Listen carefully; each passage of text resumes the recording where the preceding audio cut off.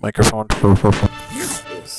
I have been shooting all day a commercial. Feeling kind of lazy. How does that look? So I make a living coming up with ideas and but a lot of the times it's like you got to come up with it on demand. Todd Henry talks about it in his book, The Accidental Creative. He says, you go to work each day tasked with number one, inventing a brilliant solution that number two, meet specific objectives. By number three, define deadlines. So if you do this successfully, you'll keep your job.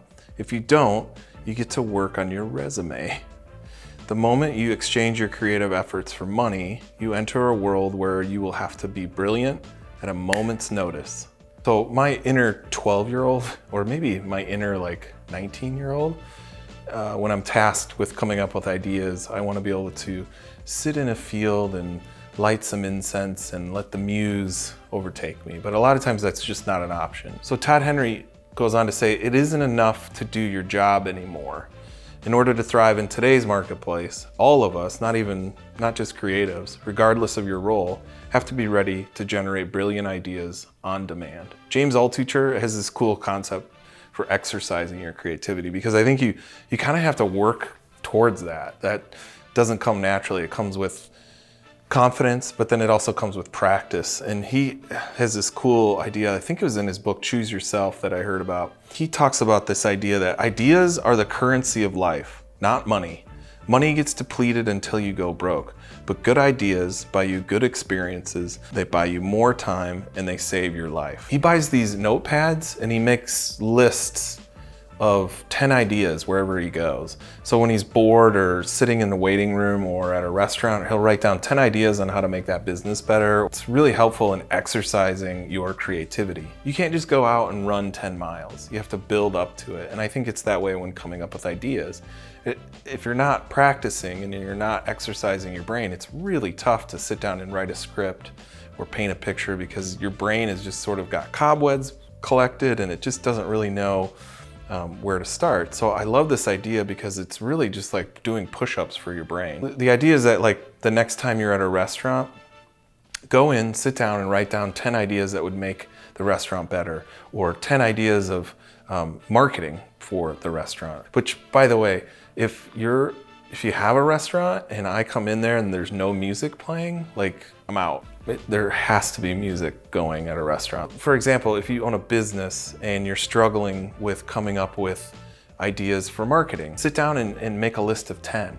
It's pretty easy to make a list of three, but it's really hard to make a list of 10. So let's say you have a video production company. I wrote down some ideas here.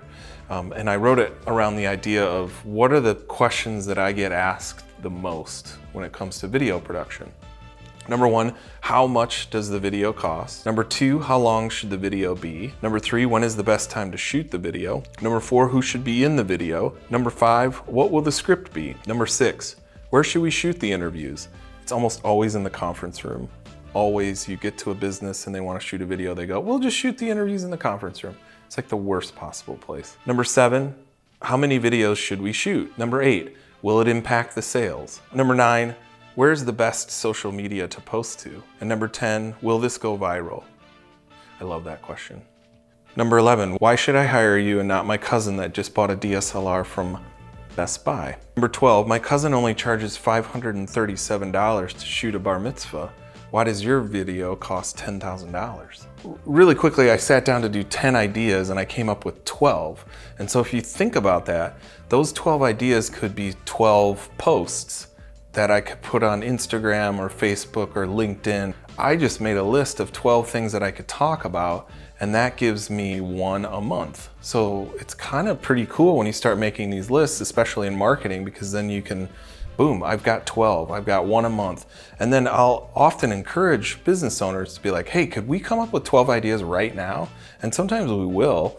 And then I'm like, there you go, you've got your social media plan. Now, can we expand on each one of those 12 things and make a video about it, make a blog post, make an Instagram post, and boom, we've started with once a month. And then I'll encourage people like, hey, do you think we could do 24 ideas? And most of the time people are like, yeah, no problem. So then it's like, okay, we could do twice a month.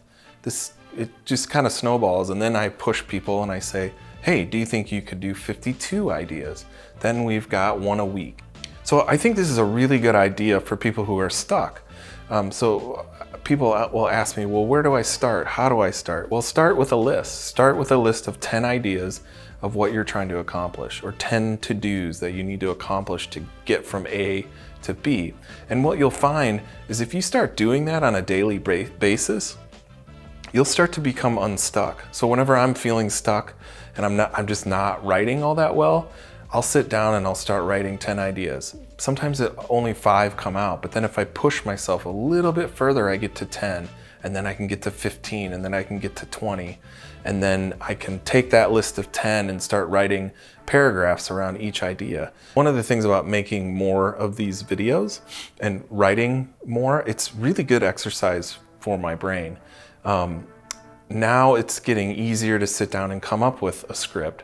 And then I'm seeing it translate in my work when I have to sit and listen to a bunch of interviews and then write a script around those. It just kind of comes easier because I'm exercising that muscle.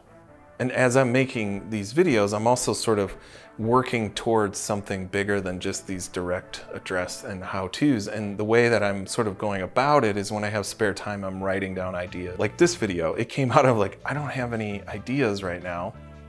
And so I was like, well, let's talk about having ideas. And what's cool is I wrote like three scripts as I sat down and came up with a list of 10 things. I'm, I'm also sort of thinking of the bigger picture of what I want this channel to be. Do I want to make a podcast? Do I want to make more how-to videos? Do I want to make mini documentaries like I did last week with Audrey? All of this is really cool because it's like I'm rediscovering slash discovering what my voice is. It's really easy to have ideas. It's really hard to execute and organize ideas. And I think there's no possible way to find your voice without practice. There's no way for me to sit down in front of the camera and talk to nothing. There's no one here. I'm talking to myself without practice. And sometimes you feel really lost. But as James Victore said, you're not lost. You're just searching. So let's keep searching and let's keep finding. Let's contribute more and consume less. Let's keep making.